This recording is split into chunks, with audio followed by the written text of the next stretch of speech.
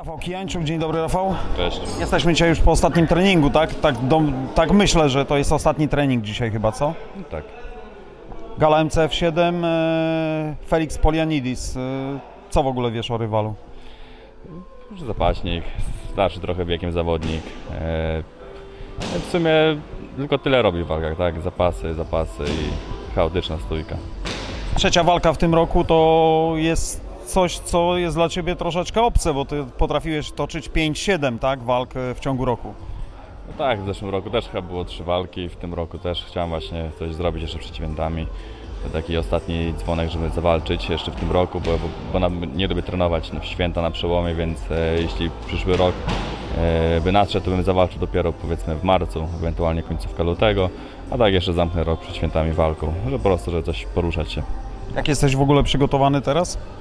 Ja dobrze jestem w treningu. E, wiadomo, nie jest jakaś forma życiowa na pewno, e, ale też nie jest walka do tego, e, żeby robić formę życiową. E, aczkolwiek ja jestem przygotowany. Z tego co widziałem, był podany limit 96 kg. E, Nie chciałeś zbijać, czy to jest e, pod rywala, rywal nie chciał zbijać? Jak to wygląda? E, 98 nawet limit. jest. 98, tak? Tak, tak, nawet 98. E, No tak, obaj, obaj się zgodziliśmy na to po prostu, żeby nie robić tego e, limitu. On też jest chyba tak 3 tygodnie e, temu był dograny. Ja 3 tygodnie temu się dowiedziałem, że on się zgodził na walkę. E, Także też dużo czasu nie zostało. Niski krępy i dwie porażki ma ostatnie, w tym jedną z Mario Żgelą, który pokazał się na Fight Exclusive Night, który pokonał z kolei Adama Kowalskiego. Jakieś w ogóle takie przecinanie się karier sportowych widzę tutaj. No tak, e, aczkolwiek trochę my nie wiedzieliśmy, że on, że on zawalczy. Też nam się w sumie niezbyt dobrze pokazał, więc troszeczkę e, źle to wygląda, ale przyjedzie tutaj, zobaczymy co tutaj pokaże. Z tego co widziałem, e, walczył dłużej z Żgelą niż e, Adam Kowalski, bo Adam gdzieś złapał prawie praktycznie na, na początku rundy knockout, natomiast on gdzieś tam do końca rundy się opierał, więc to nie jest taki niedoświadczony chyba rywal. Ma trochę tych walk, bodajże 11, więc na pewno e, doświadczenie jakieś tam ma.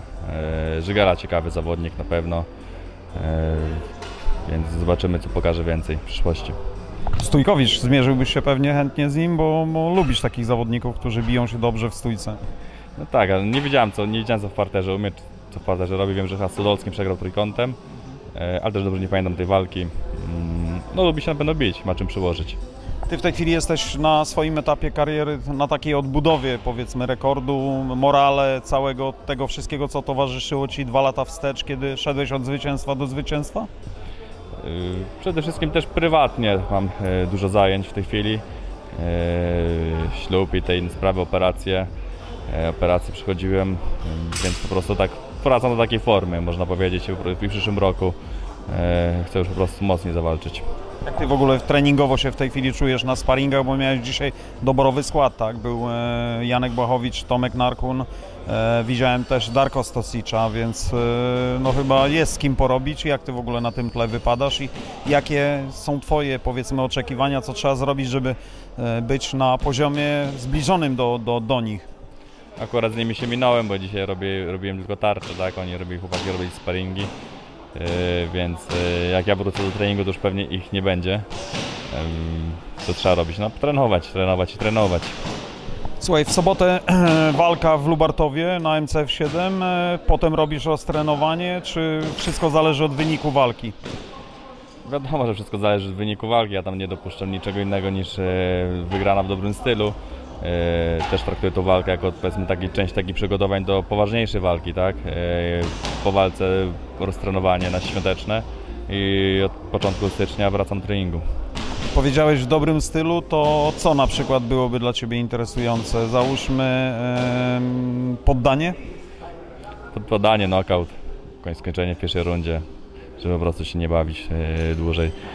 Też trzeba być ostrożnym, nie popełnić głupiego błędu, nie skontuzjować się jakoś głupio. E, różne przypadki widzieliśmy, więc też trzeba być czujnym, tak? A to doświadczenie takie, które Ci jest potrzebne, jeszcze minuty pobytu, nie bierzesz pod uwagę, czy raczej myślisz o tym, że organizm nie jest jeszcze w pełni gotowy teraz na, na takie długotrwałe boje, powiedzmy trzyrundowe, bo i tak może się skończyć pojedynek?